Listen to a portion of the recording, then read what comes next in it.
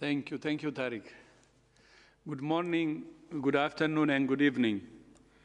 In the past few days, there have been reports of new variants of the COVID-19 virus in South Africa and the United Kingdom. Viruses mutate over time. That's natural and expected. The UK has reported that this new variant transmits more easily, but there is no evidence so far that it's more likely to cause severe disease or mortality. WHO is working with scientists to understand how these generic changes affect how the virus behaves. The bottom line is that we need to suppress transmission of all SARS-CoV-2 viruses as quickly as we can. The more we allow it to spread, the more opportunity it has to change. I cannot stress enough to all governments and all people how important it is to take the necessary precautions to limit transmission. This year has been difficult for all of us, but for health workers, it has never been harder. At this festive time of year, for so many, the best gift for health workers is for leaders and citizens to take precautions that ease the pressure on health systems. Safe and effective vaccines give us hope, but they're not an excuse for people to let down their guard and put themselves and their loved ones at risk. Now is the time to double down on the public health basics that have seen many countries suppress the virus effectively. There are a number of groups that continue to push a narrative that this virus only affects the old and that with vaccines on the horizon, we can relax. COVID-19 affects children and adults in a variety of ways, and it can attack every system in the body. And a growing number of people suffer with long-term consequences of the virus. This includes neurological complications for children and adults, which are still being researched. Vaccines are offering hope for some, but I'm deeply concerned that vaccine nationalism will deprive the world's poorest and most vulnerable people of these life-saving tools. Now is the time for political commitment to be translated into action pledges and promises will not protect anyone unless they are realized. Last week, we announced that the COVAX facility, which is backed by 190 countries and economies, has secured access to nearly 2 billion doses of promising vaccine candidates. In the early 2021, 4.6 billion US dollars in additional funding will be needed to purchase COVID-19 vaccines for at least 20% of the population of all low and lower middle income countries. This will ensure health workers and those at highest risk of severe disease are vaccinated, which is the fastest way to stabilize health systems and economies and stimulate a truly global recovery. The 100 100 initiative of WHO, UNICEF, and the World Bank aims to support 100 countries to conduct rapid readiness assessments and develop country-specific plans within 100 days for vaccines and other COVID-19 tools. 89 countries have already completed the assessments, and our teams are working around the clock to ensure that governments and health systems are ready for global vaccine rollout. WHO has also released a new training course for health workers on COVID-19 vaccination, which is available at openwho.org. Vaccines will help to end the pandemic, but the effects of COVID-19 will continue to be felt for many years to come. The pandemic has exploited and exacerbated the vulnerabilities and inequalities of our world. But it has also shown that in the face of an unprecedented crisis, we can come together in new ways to confront it. Every crisis is an opportunity to question the way we do things and to find new ways of doing them. For 30 years, our colleagues at the United Nations Development Programme, or UNDP, have published the Human Development Report, an annual snapshot of the state of global development. UNDP has long been a critical partner of, to WHO, working closely on a host of health and development issues together to solve problems on the ground so that people get the services they need. The latest edition of the Human Development Report, published last week, takes an in-depth look at the COVID-19 pandemic and what it might mean for the future of development and humanity. To talk more about the report, I'm pleased to be joined by my brother, Achim Steiner, the administrator of UNDP.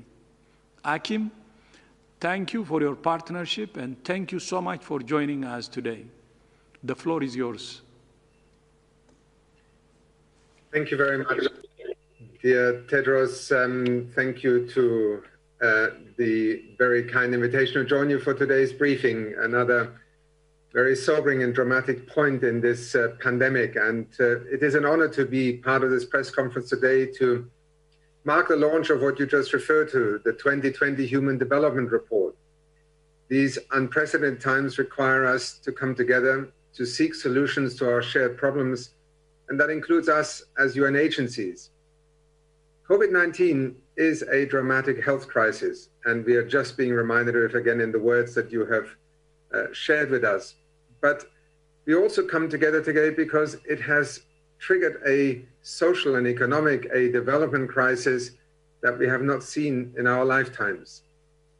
Not only has the virus taken the lives of more than 1.6 million people, it has destroyed livelihoods, crippled health systems, locked hundreds of millions of children out of classrooms, and is costing the world's economy more than $9 trillion over two years, according to the IMF and the equivalent of up to 400 million jobs, according to our sister agency, the ILO. UNDP projects that for the first time in 30 years, global human development progress is going backwards. UNDP has calculated that by the end of the decade, 1 billion people could be living in extreme poverty. A quarter of those, 250 million, could be people pushed into poverty as a consequence of the pandemic. As the Human Development Report makes clear, COVID 19 is the latest in a string of consequences resulting from the ever growing pressures we put on the planet in the name of progress. This is the reality of the Anthropocene, the age of humans, as we refer to it, and in it, humanity is, in a certain way, waging a war against itself. For 30 years, UNDP has released the Human Development Index, ranking countries in the world by how they expand people's freedom and opportunities, by measuring health, education, and income. But this year, we decided that we needed to try something new and long overdue. We included an experimental index to gauge human progress by accounting for per capita national carbon dioxide emissions and per capita material footprint. The result shows that no country is successful in advancing humanity without extracting a heavy toll on nature and our planet. Yes, there are countries successful in a lighter planetary imprint, and yes, there are countries with prosperous populations, but not one nation is doing both. Achieving this balance is the next frontier of human development, as the report is called. And as it sets out, very critically also, inequality is central and is a barrier to that mission. Because inequality is both a cause and a consequence of planetary imbalances, and it stands in the way of solutions. While the pandemic has undoubtedly touched us all, its impact is being felt differently depending on who you are, where you live, and how much money or power you have. Existing and growing inequalities have meant that around the world, those that already have the least have been hurt the most. And in its simplest, we have all realized that it is extremely expensive to be poor in a pandemic, whether you are a household or a country. Poor people, women, marginalized people, day laborers, and those in unstable employment or in the informal sector have all faced disproportionate hardship. For instance, evidence from a number of countries also indicates that the pandemic is erasing decades of progress in women's labor force participation. But the report is very much focused on also stating that it doesn't have to be this way. The first test of our willingness to transform will be the delivery, as Dr. Tedros just referred to, of COVID 19 vaccines to the world's population. The COVID 19 pandemic is exposing and exacerbating fragmentation and long standing gaps in public health and deepening chronic inequities. The delivery of the COVID 19 vaccine must be equitable. Otherwise, we risk entrenching the very inequalities which are harming the health of people and the health of planet and are going to give rise to more social and economic tensions.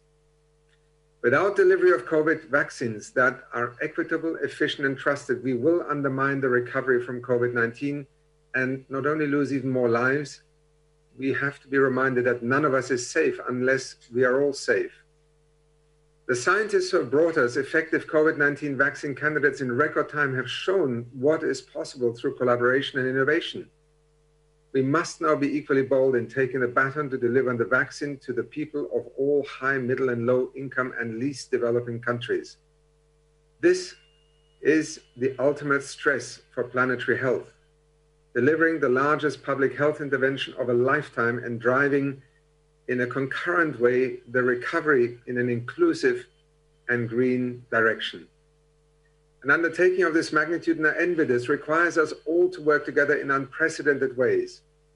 UNDP is privileged and continues to be committed to playing its part in the whole UN family system response, but guided in particular also by WHO's leadership while working in partnership with our sister agencies, Gavi, the Global Fund, and others through the ACT Accelerator the SDG 3 Global Action Plan and beyond.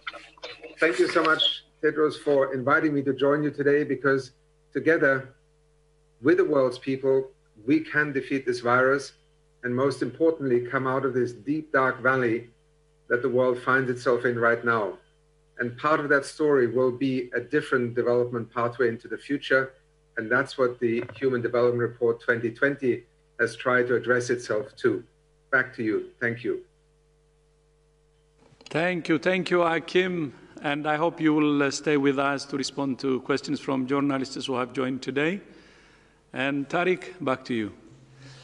Thank you very much, uh, Dr. Tedros, and thank you, Mr. Steiner, for uh, these uh, very important uh, um, declarations you have made. Uh, we will now open the floor to, um, to questions from journalists who are with us online.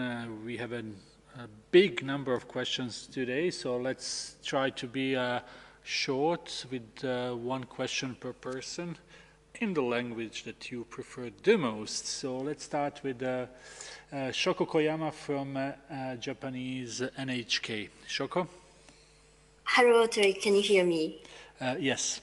Okay, thank you so much for taking my question. So regarding the mutation of the virus, which uh, Dr. Tedros just mentioned, can you please elaborate what WHO knows so far, um, in which countries, apart from UK, and does the same variant has been identified, and also if there is a link between this variant and the variant identified in the South Africa? Thank you. So thank you, Naoko, for the for the question. Um, it's a very timely one today. Um, yes, so there has been a, a, variant under investigation, as the UK is calling it, um, that has been reported from, from the UK. Um, this variant um, is SARS-CoV-2 virus, and it has a number of mutations um, that was identified through genomic sequencing that is carried out across the country. Um, the variant uh, under investigation was reported to WHO on the 14th of December, um, following detailed analyses that the UK had done um, in the southeast of England, looking at their epidemiologic surveillance data and their laboratory data, noting an increase in transmission at the end of November, December, um, at, while uh, interventions were in place. Um, they did some phylogenetic analyses and they identified this variant. Uh, they're calling it the B117 lineage, which includes this uh, mutation at the N501Y site. Um, there's a lot of work that's ongoing in the United Kingdom, and we're very grateful for working uh, across Public Health England, different academic institutions and modeling groups, different labs that are looking at three different things. They're looking at transmission uh, in this variant, and if there's any differences in this virus's ability to transmit. They're looking at the disease that this variant causes and in terms of clinical presentation and severity, and they're looking at the body's antibody response uh, following infection with this variant. Um, what we understand so far from the data that's been reported by the UK is that they have reported an, an increase in transmission in this variant. Um, but I want to put that into context because what they have told us is that they're looking at an increase in the reproduction number, which is the number uh, of people that one infected individual transmits to another, of an increase of about 0.4. So it's an increase of moving from 1.1 to 1.5. Um, so there is a, an increase in transmission that they're, that they're looking at. Now they're trying to determine um, how much of that is associated with the variant itself, as well as behavioral differences uh, in individual that this variant has infected. So they're still working through that right now. Um, in terms of disease, in terms of severity, um, the information that we have so far is that there isn't a change in the clinical presentation or severity from this variant. Um, but again, the work is still underway that they're looking at uh, a number of factors, including patients who are hospitalized with this variant as opposed to the wild type, the other uh, viruses circulating. And the studies around the antibody response are currently underway. As we speak here today, um, the scientists in the lab are working on these types of studies and looking at the antibody response, and we expect results from those studies in the coming days and coming weeks. Um, so we're really grateful for colleagues working with us directly they have informed us with more detailed analysis through our virus evolution working group, uh, which was established to specifically look at mutations and specifically look at what are the studies that are needed to understand what these mutations mean and any potential implications. Um, and they have informed us through our modeling network, um, where they've looked at uh, trends in, in surveillance activities and, and surveillance uh, data. So um, the data is, is coming in uh, in real time, and the UK is making information available as quickly as possible. They're reporting it to, to us as well, and we will make uh, updated information uh, available as quickly as possible. Uh, the UK has informed us that they don't believe that there's an impact on the vaccine, so that's good news. Um, but again, there's a lot of information coming out, and there's a lot of studies that are ongoing. Point, uh, your, your, second point about the, uh, South Africa. So at the same time, um, there was another variant that was identified in South Africa, um, and it, it has one of the same mutations, this 501Y mutation, but it's a different variant. They've arisen at the same time, so it sounds like they're linked, but it's actually a separate variant. And South Africans um, have, are also working with us through our virus evolution working group, and they are presenting, uh, they have presented to us some preliminary results um, from the studies that they are doing. They are currently growing the virus uh, in, in South Africa so that more studies can be done, similar to the studies that I just mentioned about uh, the UK. So it does sound confusing that they're the same virus, but these are actual dif different variants. Um, I do want to say a big thank you to to all over the world for people who are doing full genome sequencing and making these sequences available uh, to other researchers and scientists and on publicly accessible platforms like GISAID. This really helps us to monitor these changes, these natural changes that happen in the virus. So we, we need that to continue. We are hopeful that more sequencing capacity can, can increase across the globe, and it has significantly increased during this pandemic, but we still need more. So thank you to all of you who are out there who are doing those sequences and sharing those through publicly available sites. Thank you very much, Dr. Van Kerkhove. Uh, think uh, many of journalists who are online uh, wanted to ask questions about precisely about this. Uh, um, Dr. Ryan maybe would like to add something. Uh, Dr. Ryan, please. Uh, yes, uh, can you hear me, Terry? Very well, please. Okay. Uh, no, I think uh, Maria says it all, but I think it's important maybe just to re-emphasize a couple of things.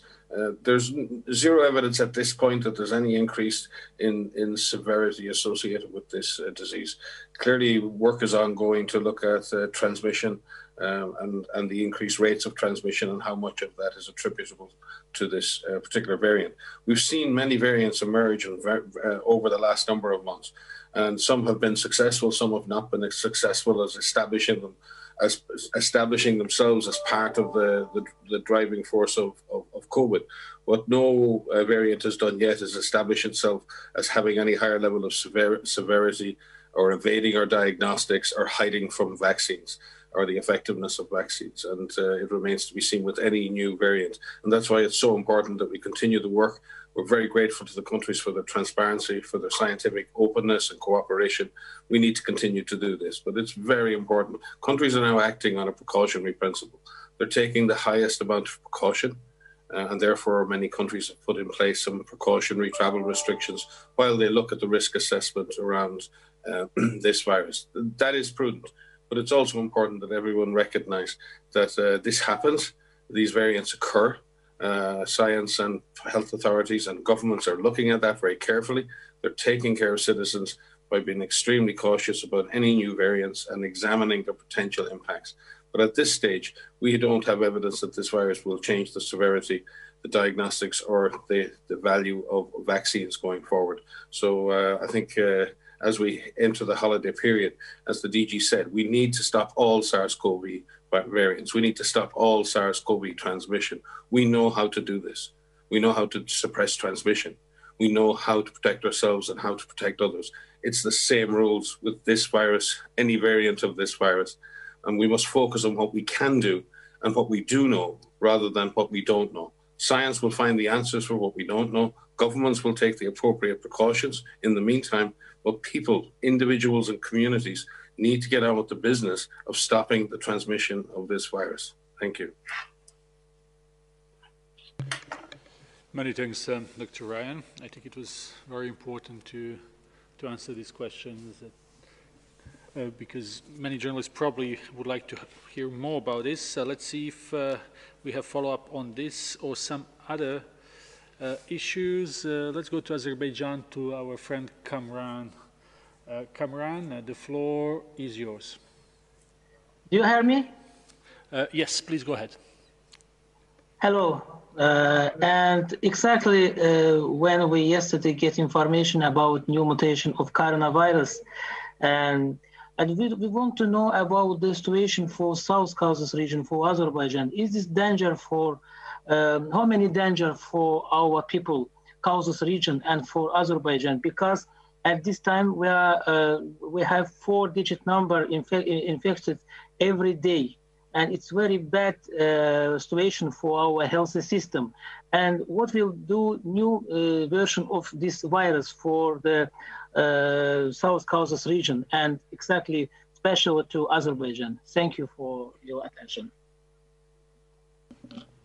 so thank you for the question. I'll, I'll, begin and maybe others want to come in, but I think it's, it's worth noting that, you know, we're still learning about this variant identified in the UK as well as any changes that are happening in the virus. The SARS-CoV-2 virus in any form is a dangerous virus. And the activities that we, that we take ourselves to minimize our own exposure are applicable for any SARS-CoV-2 virus that is circulating, including the new variant that has been identified in the UK um, the measures that are in place, uh, the public health measures that are necessary to bring transmission under control include the comprehensive approach that you've heard us talking about. And it's worth emphasizing this again, that we have to, as the Di Director General has said repeatedly, we, we need to double down because we have these tools at hand. And this includes the public health measures about active case finding, knowing where the virus is, so that we have strategic testing in our, in our countries so that we know where the virus is and who is infected and who is not. Making sure that test results come back quick so that we know what public health actions need to take place in terms of making sure we have good clinical care, we have contact tracing cluster investigations, we have supported quarantine of contacts, and then all of us need to make sure that we do everything that we can to minimize our exposure. We have the holidays coming up across many, many countries, across many different religions. We need to make sure that we as individuals do what we can to minimize our exposure. We say, know your risk, lower your risk. And there are things that you can do at an individual level. And this is physical distancing, this is wearing a mask, this is washing your hands, making sure that when you do wear a mask, you have clean hands, you put your mask on appropriately, you take the mask off appropriately, you wash your hands, you practice respiratory etiquette, you avoid crowded spaces, you keep your distance. You make sure that if there, you try to avoid enclosed, crowded spaces, especially with poor ventilation, open a window if you're in, indoors. So there's lots of individual level measures that you could take. Um, and as, as individuals, as communities, we can all help each other out. You know, make sure that while we are physically separated, that we remain socially connected. Um, as we come up to the end of 2020, um, it's a difficult period for many people, whether we have a pandemic or not. It's really important that we reach out and we help each other and we touch base with each other um, and just make a phone call. Um, so everything that we can do now for this variant, as well as the SARS-CoV-2 viruses that are circulating, um, still remain true. We need to do everything we can to prevent as many infections as we can because this is a dangerous virus. Not only for older individuals, as the DG also said today, it's for everyone. We are learning about the long-term effects of long COVID for individuals. There's so much that we're still learning about this particular virus. So do what you can to keep yourself safe.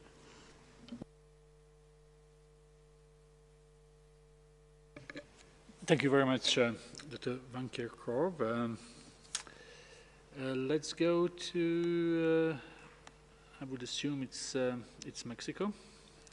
Claudia Luna Palencia uh, from Vertigo Politico and TV Azteca. Claudia, if you can hear us, please unmute yourself.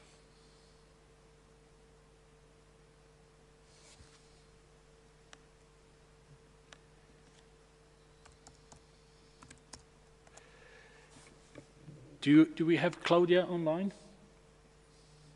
If not, uh, let's go to Imogen from BBC. Imogen?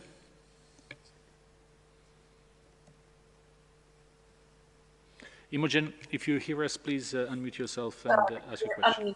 Permission comes up a bit late. Hello.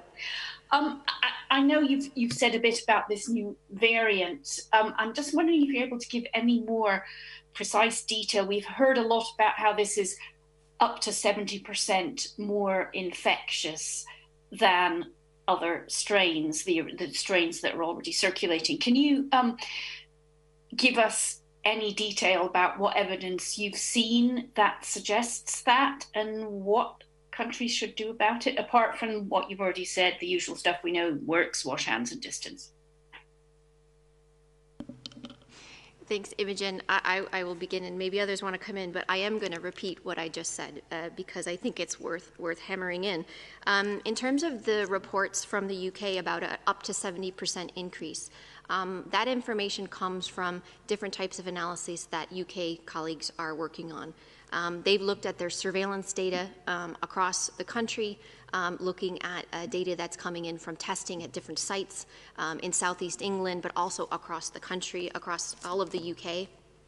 Um, they're also looking at um, phylogenetic analysis, looking at the sequences um, and doing detailed analysis of making estimates of the reproduction number, of the generation time, et cetera, to look at differences with this uh, circulating virus and other wild type viruses. So they look at people who are sequenced, and so not all people across the UK are sequenced, so it's a subset of the population. But having said that, the 70% increase is an increase of a reproduction number of about 0.4.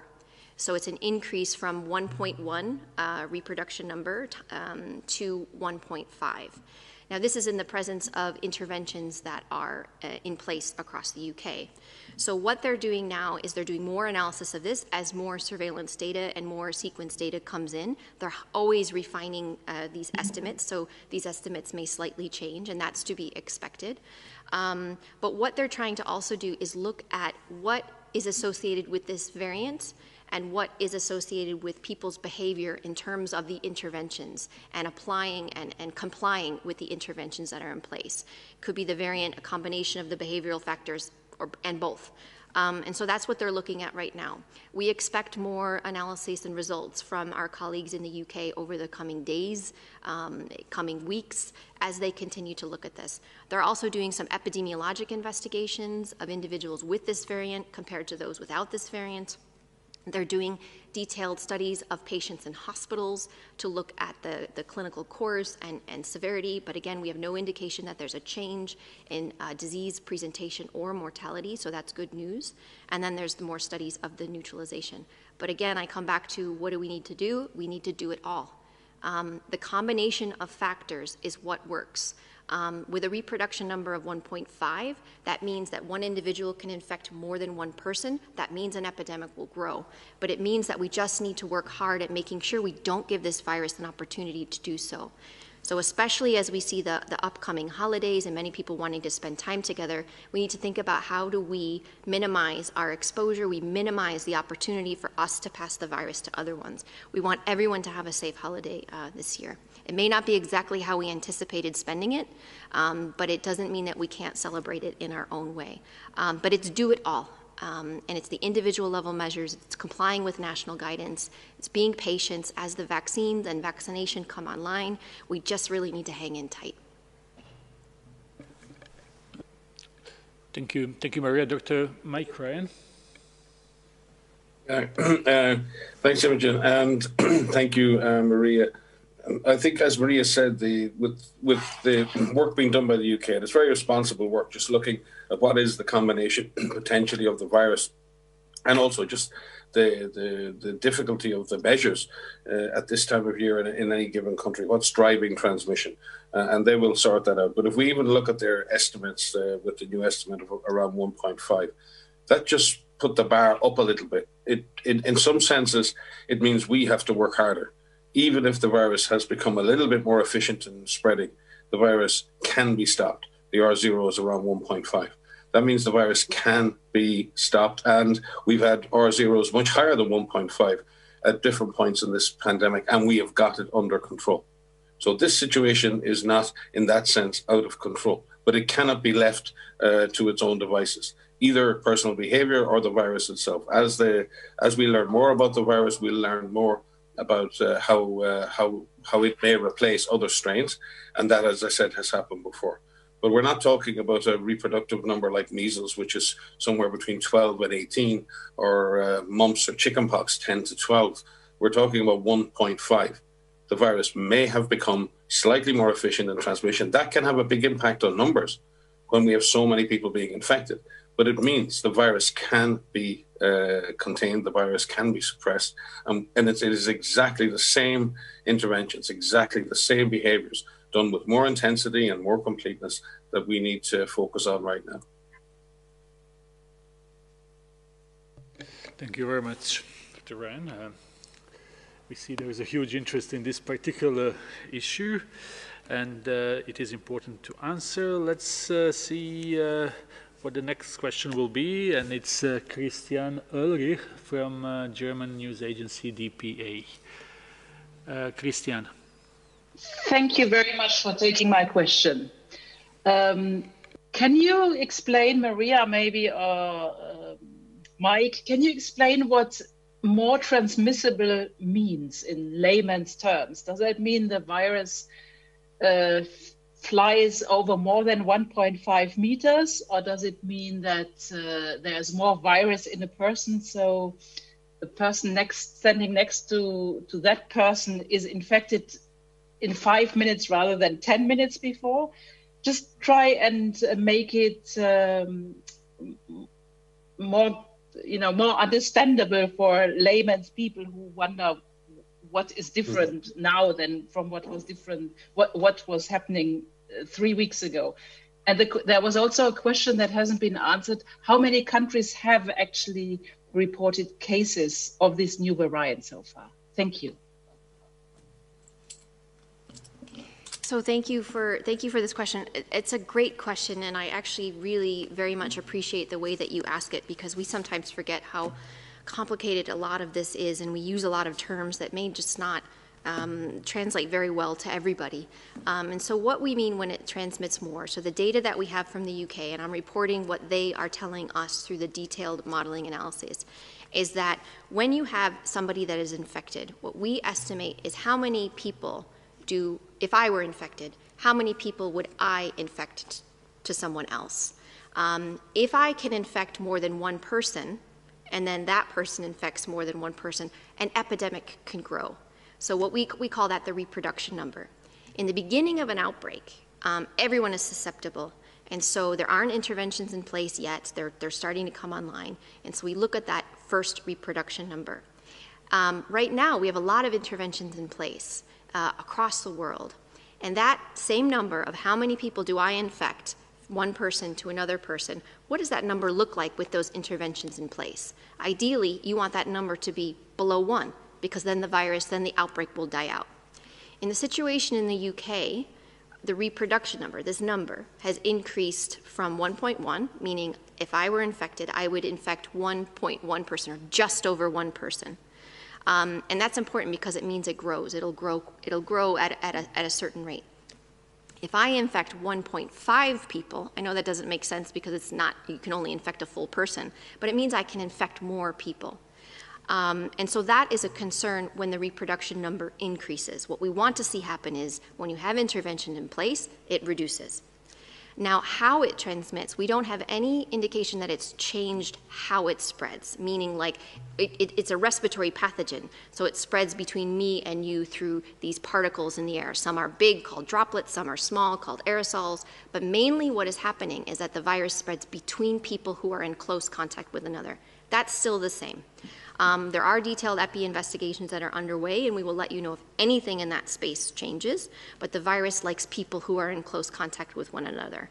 So when we say there are things that you need to do with your physical distancing, you're wearing a mask, you're washing your hands, all of that remains true in terms of protecting yourself and protecting the ability of you to spread from somebody else. So I hope that was a little bit um, more clear, but maybe others want to come in. I'm sure Mike will, will want to come in on that. In terms of the international spread, um, so we are, are learning um, of countries that are doing sequencing, that are looking for individuals with this particular variant. Um, and there are a few countries that have reported single cases of these uh, of this variant.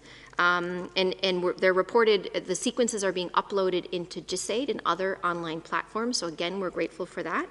Um, and we understand in, uh, it's Australia had one case, uh, Iceland, Italy, the Netherlands, and Denmark.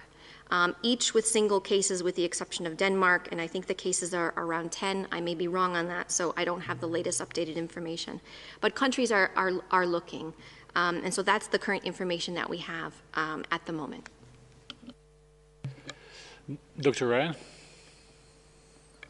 Yeah, um, I think Maria explains it uh, very well. And in the end, uh, uh, when viruses change their genetic sequences, in effect, they're, they're, they're, they're, just changing a sequence of instructions that are used to build proteins. It's like a program. Uh, then many, many of you will know programs are a set of instructions that I liken it. Sometimes most of you women out there will know that uh, if you gave the same set of uh, flatpack instructions for furniture to men, you'll end up with uh, many versions of slightly different furniture at the end based on their interpretation of those instructions. And I think it's pretty much the same in this case. The instructions can change slightly and the outcome can change slightly. That's very important because if the proteins change because of the slight changes in instruction, the shape of the protein can change. And the spike protein on the virus, on the SARS CoV 2 virus, is very variable because of that. And therefore, it can either fit very well into the receptors on human cells or not so well and it's a pure chance thing. Some mutations result in that uh, protein being able to bind a little better. Some result in it not being able to, able to bind so well.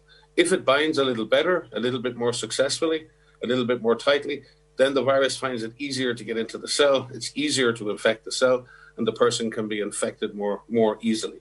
So that can change either the ease with which the person can be infected or the viral loads that they may have ultimately uh, with the same exposure. So, in that sense, it is very much linked to those instructions, the success of the virus in the human body. And then, as Maria said, the types of transmission don't necessarily change. But the, if you increase the number of people who are infected in the community, then obviously the rate of infection can then increase when more people are successfully infected with the virus. But again, we're talking hypothetically here. We've seen an estimate of a small increase in, in the reproductive number from the UK. It remains to be seen how much of that is due to the to the, the specific genetic change in the new variant. I suspect some, Um, and as I said, we're going to have to, Maria has laid it out, we're just going to have to keep working hard, keep doing it all, um, and uh, dealing with this SARS CoV 2 variant as we have dealt with all the previous ones.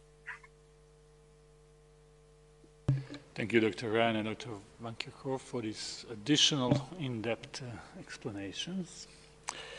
Uh, let's see if uh, we have uh, more questions on this, or we may have some other questions. Let's turn to Georgia, and we have uh, Ketevan Kardava from TV Georgia. Hello, can you hear me? Yes, please go ahead. Uh, thank you very much. Good evening. Uh, European Medicine Agency recommends Pfizer COVID-19 vaccine today. It's a great news and historic uh, day and achievement.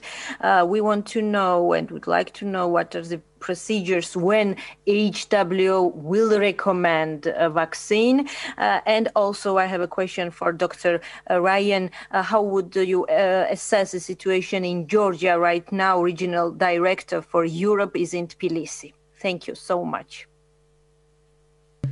Thank you very much. I will, uh, I will call on uh, Mariangela Simão, our Assistant Director General. Uh, Mariangela.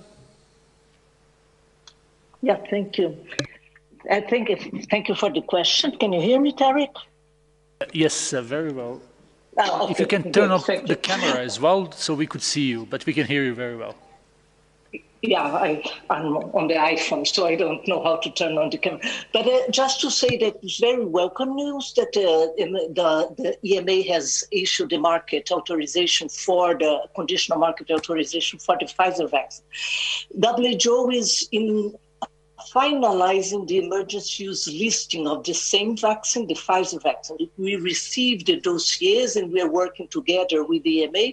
And it's likely that before the end of this month, we will also have an emergency use listing um, by WHO for this vaccine. Then we do have uh, the, the WHO's advisory group on immunization is also assessing the recommendations of how this vaccine should be used at country level. So this is uh, some parallel work that's coming, uh, going on as we speak.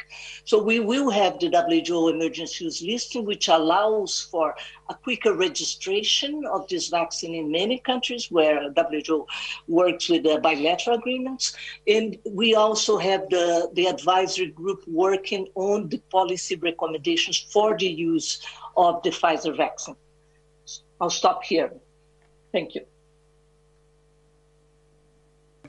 Thank you very much. Uh, I don't know if uh, Dr. Swaminathan would like to add something to this. Yes, maybe very briefly, just to say that uh, we look forward to the SAGE recommendations, which is the policy uh, for how this vaccine should be used and, and, and the details of which groups and uh, uh the schedule and so on. And that's um, we're expecting that to happen in the first week of January for, for the Pfizer vaccine. Uh, hopefully, we're going to look at the Moderna dossier as well soon after that. Um, we do hope that through the COVAX facility, that we will be able to start rolling out the Pfizer vaccine in a limited set of countries late January, early February to vaccinate healthcare workers in those countries who are at highest risk for um, uh, for getting the infection and also to protect the health system uh, from from being overburdened and collapsing. This will allow us to first of all have a public health impact by protecting this high risk group, but also to be a learning for us to then rapidly be able to scale out vaccines to the remainder of the um, COVAX facility countries. So we're really looking forward to that, and we're doing everything possible uh, to try to roll this out uh, as quickly as possible, hopefully in the, in the coming weeks. Thank you. Thank you very much, uh, Dr. Swaminathan and Dr. Simão. Uh, we will move now to Shane from CCTV. Shane.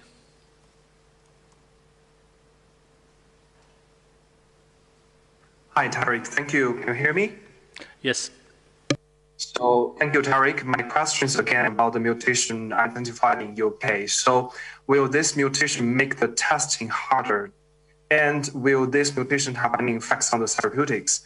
Besides that, so for the countries, for the pandemic, how will this mutation mean? Uh, what, what does it mean to the whole global pandemic? And uh, what specific suggestions you may offer to countries to deal with this mutation? And one last information I wanted to verify that uh, Dr. Maria Van Kerkhove said in the beginning of the briefing that the mutation was reported to WHO on December 14th. But we saw some reports that think this mutation was among some mutations that was identified in England in September. So could you confirm that when we found this mutation, or we found this like in September, but we only identified its transmission ability to be higher this month, or so? Could you verify that? Thank you. So thank you for the question. I'll take the last part of the, the question first. Um, so when, um, as I was explaining in the beginning in the first answer, so the colleagues in the UK are monitoring sequences all, all the time, and they, they conduct full genome sequencing of a proportion of the cases across the country. Um, they were alerted to an increase in transmission in southeast England towards the end of November, uh, early December, around that time. Uh, they could provide the more specific details of their detailed analysis. Um, and in doing so, they, were, they had the question of why are we seeing increased transmission if we have interventions in place? Um, they were looking at the characteristics of the cases and they were looking at the sequences, and they identified this variant under investigation, this B117 lineage. When they did back tracing and retrospective analyses of cases in Southeast England, they saw some of those cases where it had this variant in September. So that was looking retrospectively. Um, and so we, when they were doing more detailed analysis, they have phylogenetic analysis. They presented, they, they um, reported to WHO through the IHR mechanism on the 14th of December, where they outlined this variant uh, under investigation. They outlined all of the different mutations that were there on the 14th. Um, and then we followed up with a number of teleconferences with our European office, but also with ECDC and colleagues in the UK to get more details on the analysis that, we're, that they are carrying out, currently still carrying out. Um, and that's where that retrospective identification of those cases uh, in September came from. But the transmissibility, um, those reports came late last week. Um, in terms of the analysis that were done looking at this increase in, in transmission that they've reported. Um, so I hope that that's clear there is, um, they are looking at, because some of the mutations are in the spike protein, um, they are looking at the diagnostics that are currently available uh, and that are in use. Um, there, most of the tests that are out um, look at multiple targets within the genome, within the sequencing sequences themselves, um, and so it will not affect diagnostic tests that have multiple targets. There are some tests, very few tests that are out there that only look at a single target those tests may be impacted by um, being able to detect this particular variant. But as I said, most of the tests that are out there use multiple gene targets. Um, and so that, that is good news. But they're still evaluating right now. They're really looking at all of the tests that are, that are in use um, in the UK, and they will be reporting to us on the efficacy of the tests that are there. Um, I don't have any information on the therapeutics, but we haven't, um, that is also being looked at. As I said, they're looking at the hospitalizations, um, but we don't have any indication that the therapeutics would be altered by this. Sumi may have more information on this, but the, as I said, the studies are underway and they haven't reported any impact on, on therapeutics for, the, for patients with this variant versus other SARS CoV 2 viruses. Dr. Ryan? Yes, thanks, Terry. Thanks, Maria. Um, again, I, I, think we have to uh, remain very sort of balanced here. This is the, probably the first time where we've been able to use real-time genetic sequence to track the movement of a disease around this planet. And it does mean that we're picking up new variants all the time. Their significance when they're picked up at the moment they're picked up is not known because we, we just find them and then we have to find out what they're doing within populations. We look forward to see what's happening. We look backwards to see if we found if this has existed before and how many people it's infected. It's a it's a it's an incredible detective story, a scientific detective story. And it's what's wonderful is that countries like the UK and countries like South Africa are looking. They're monitoring, they're taking it deadly seriously, and then they're looking for those variants and then seeing in the real world what those variants are doing, whether they're having an impact or not having an impact. So this is an era of new tools. We're getting used to how to use those tools. And it's really important as we use those tools that we are very cautious then and, and very, very measured in how we communicate with, with, with the media and with you, the public, so that we're communicating important information, but at the same time, that we're not uh, overplaying that information in a way that uh, scares people too much. We have to find a balance. It's very important to have that transparency. It's very important to tell the public the way it is, but it's also important to get across that this is a normal part of virus evolution and being able to track a virus this closely, this carefully, this scientifically in real time is a real positive development for global public health. Um, and those countries doing this kind of surveillance should be commended. But it does bring it with it uh, some moments when we gasp at, at the emergence of new strains, uh, and then we have to track those strains uh, over time. Uh, but uh, the, the, the message overall is a positive message of knowing and learning how this virus moves and works, and then finding ways to combat its spread. What's good is the measures we currently have in place are the correct measures. We need to continue to do what we've been doing. We may just have to do it for a little, uh, with a little more intensity and for a little longer to make sure we can bring this virus under control. Many thanks, Dr. Ryan. Uh, we have a time for one or two more questions. Uh, Dr. Simão mentioned the SAGE meeting beginning of uh, January. We would uh, and we will have a press briefing following that meeting, so uh, stay tuned for outcome of the SAGE meeting. Uh, let's take a question from Pamela Falk from CBS. Pamela? Uh, yes, thank you, Tarik, and thank you, Chris. I, I, my question is for Dr. Van Kerkhove and Dr. Ryan or Dr. Tedros. You talk about the research that continues to be done for the B11 variant or the variant in the UK.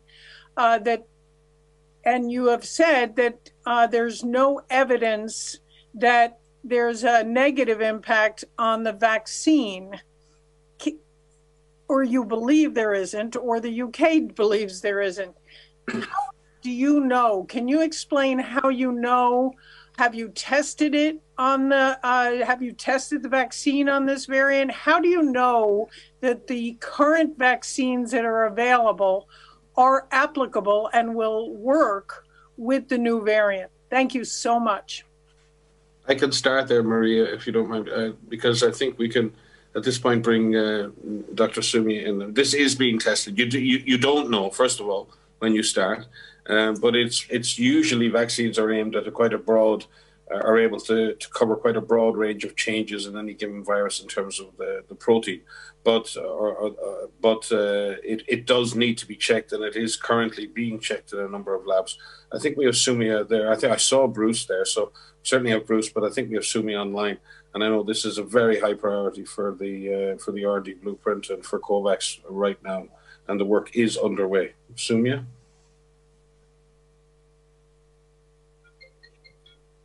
Thank you, uh, Mike. And uh, as you said, I think this is a very important uh, important issue because a lot of uh, the hope now is on the vaccines making uh, first an impact on the acute phase of the pandemic by reducing deaths, by protecting the most high risk and vulnerable groups, and by protecting our health systems, and then ultimately really making um, uh, an impact on the pandemic itself by creating that population immunity. Now, all viruses mutate, some more rapidly than others.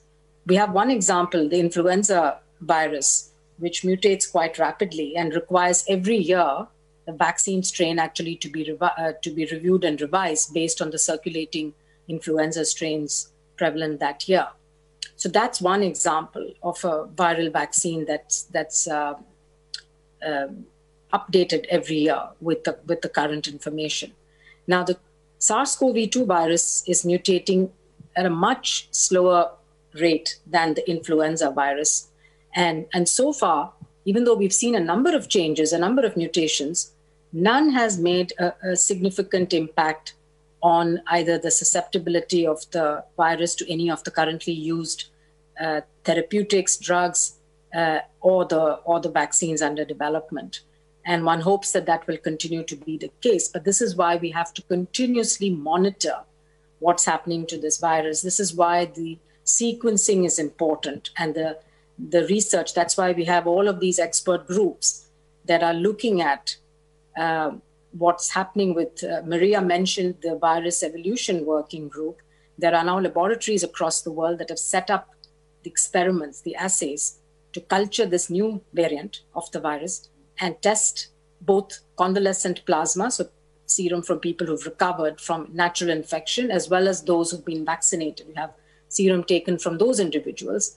And then in the laboratory, you can actually see whether this virus is being killed or neutralized by these antibodies from people who've got the vaccine or from people who've recovered from the disease. And that will tell us.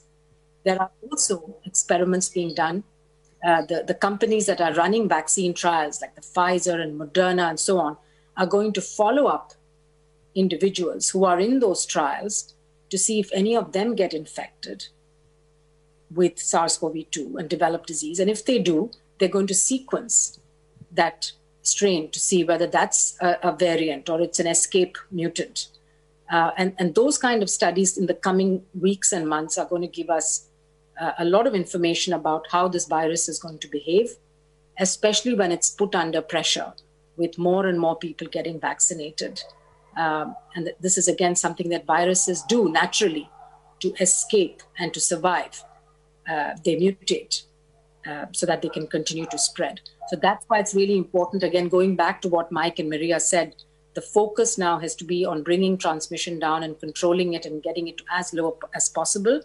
Because the more viruses you have in circulation, the more chances of mutation and, and the more such variants that can arise. So the, the, the bottom line here is keep the virus transmission low, keep circulation low, don't allow it to get out of control and, and, and spread in the population. We, that way, we'll also keep the mutations down. Over.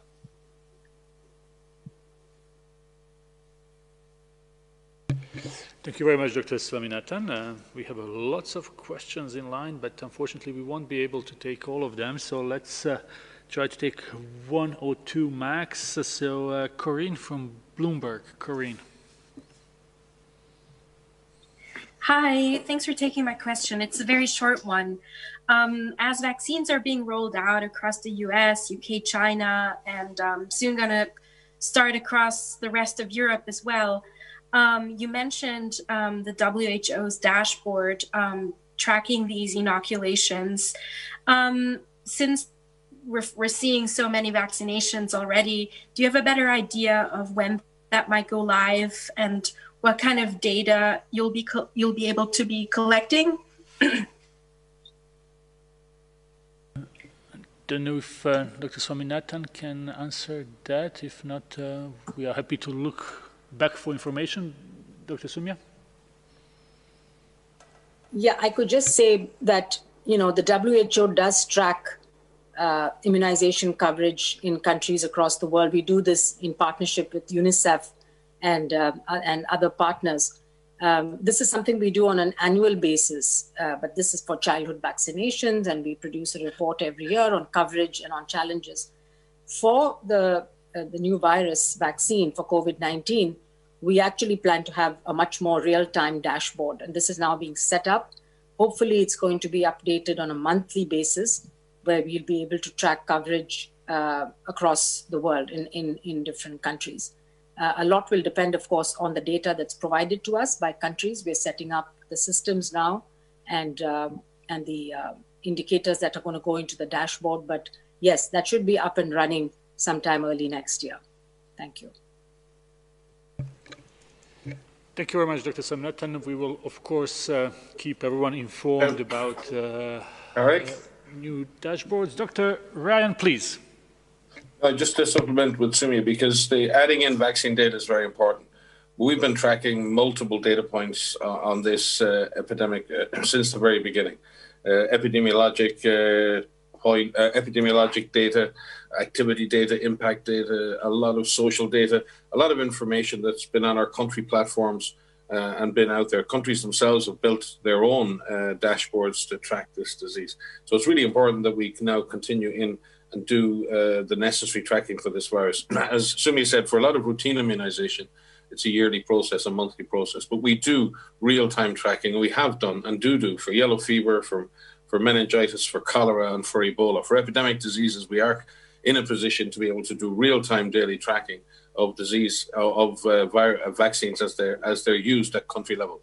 The task here, though, is, is much bigger because usually we're dealing with one, two, three, maybe four or five countries in which we're doing mass campaigns. This is hundreds of countries potentially at the same time. So the the need to be able to track this carefully uh, is very important, both to look at how the vaccine has been used, to look for side effects, uh, to see how effective the vaccine is in the real world. All of those matters are very, very important. But it, we'll be adding the, the, the tracking system for vaccination to a, a vast uh, system for tracking all kinds of other interventions that WHO partners are currently using to support our member states.